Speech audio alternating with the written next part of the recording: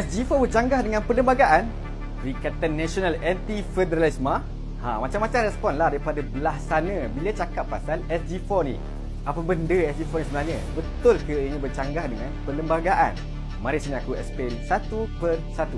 Pertama, State Government 4 ataupun SG4 ni adalah kerjasama empat negeri di bawah Perikatan Nasional Terengganu, Kelantan, Kedah dan Perlis. Kedua, adakah SG4 ini bercanggah dengan perlembagaan? Sebagaimana telah dijelaskan oleh Dr. Sam, SG4 hanya melibatkan bidang kuasa negeri yang telah ditetapkan dalam jadual 9 senarai negeri. Secara asasnya, penubuhan SG4 ini berlandaskan peruntukan yang dibenarkan dalam perlembagaan. Yang ketiga, adakah SG4 ini tak menghormati dan membelakangkan semangat federalisme? Sebenarnya SG4 ini dibangunkan untuk memastikan semangat federalisme dihormati. Pengamalan federalisme dalam negara dilaksanakan walaupun berbeza parti. Tindakan menyekat projek ke negeri, menyekat peruntukan negeri, menolak permintaan untuk berjumpa dan menidakkan hak negeri itulah pengkhianatan terhadap semangat federalisme dalam negara. Empat, PHBN tidak perlu takut dengan SG4.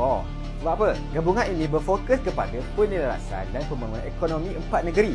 Bukannya satu gabungan penjajaran politik. Dengan adanya SG4 ini, isu kritikal seperti pengurusan, pembangunan ekonomi, pendidikan, penanganan Islam dan sebagainya dapat disaras dengan lebih komprehensif bagi keempat-empat negeri ini. Daripada kerajaan PHBN sibuk mempersoalkan dan bagi persepsi negatif pada SG4, apa pula inisiatif negeri-negeri di bawah PHBN untuk majukan negeri? Setidak-tidaknya negeri-negeri yang dikatakan mundur ini telah mengambil langkah ke depan untuk memacu ekonomi dan memanfaatkan aset dalam SG4. Jangan disebabkan negeri-negeri di bawah PHBN tidak mampu menunjukkan idea untuk memajukan negeri yang dipimpin. Maka inisiatif baik dari negeri PN dipelekehkan. Betul tak? Ha, apa pandangan korang? Baca komen sikit.